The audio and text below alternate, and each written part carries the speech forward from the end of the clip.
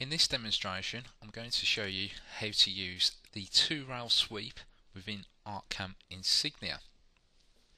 The two rail sweep icon is located here so I'll just click on that and here you can see the dialog box for the two rail sweep and also on the screen I have created five vectors. I'm going to click this vector here and I'm going to select that as the top drive rail. You'll notice that that turns into A and it also adds some arrowheads to the vector. This is just specifying the direction that the line is going in. I'm going to select this bottom vector and then click bottom drive rail. Now as you can see this is now B and the arrowheads are going from right to left. So they're opposite to the first drive rail. So I want these to both be going in the same direction. So I can reverse the direction of one of the drive rails. So I'll click on the second drive rail here and that reverses the direction of the drive rail. What I'm going to do is to add some cross sections now and what the two rail sweep is going to do is place the cross section in between these two rails that I've selected and create a sweeping effect. I'm going to add that as a cross section you'll notice it's changed to number one and it also has a one at the start of the top drive rail and a one at the start of the bottom drive rail. If I click calculate go to the 3D view there you can see that that's placed that particular form or that particular cross section in between that drive rail and basically extruded it across the two rails. So I'm going to reset the relief now. I'll reset my selection. Select that as the top and that as the bottom drive rail. And I'm going to show you how to add two cross sections to this. So I'm going to add the same cross section as previously. This time I'm going to add the top cross section as well. So if you notice it changes to 1 and 2 and also here on the drive rails you will see a 1 at the start and a 2 at the end. So basically this is going to take the first cross section and then slowly blend into the second cross section towards the end of the rails. So if we go to the 3D view and calculate this you can see if I just turn this around. You can see this cross section on the left hand side. And then if I turn this round the second cross section on the right hand side. So this is slowly starting to turn into what I actually want this to look like, which is a flag.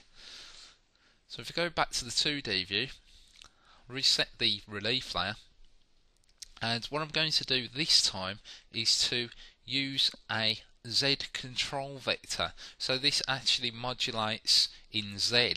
So I'm going to select this vector at the bottom here and click select.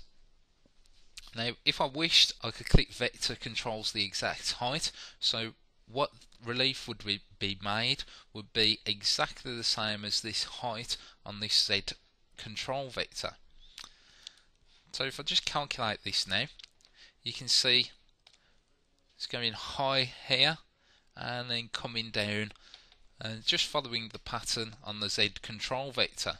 So starting to look like a flag here.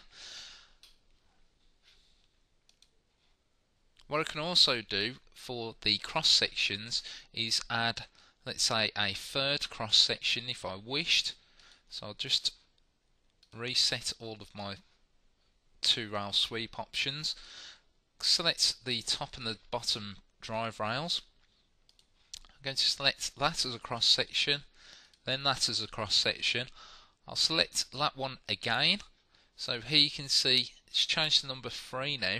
So I've got 1, 2 and 3 let's say for instance I wanted to add that again twice so here you can see I have five cross sections here. If I wanted to change the position of let's say number 4, move down to number 4, click position and just change the position of the first drive rail. So there you can see that that's just moved the position of that there. So if I calculate this now, go to the 3D view, you can see it's modulating between all of those cross sections. So it's given me quite a weird shape.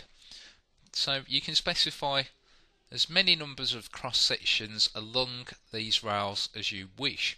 So I'm going to reset that and reset the relief layer and here we have scale height with width. What this actually does is it maintains proportionally the height of the relief as it stretches it across the width of the two guide rails. I can also scale the final height and add a start height. So what I'm going to do is to select my two drive rails. I'm going to select this as my Z control vector as previously. I'll just do two cross sections here and I'm going to scale the height with the width this time I'm going to scale the final height. So I'll do that at let's say 15 and calculate. So there you can see it's not as high as it was previously. So it's just coming up here and then slowly blending down. If I wish to add a start height onto that, let's say 10, and calculate, you can see it's added a flat onto the bottom of the flag.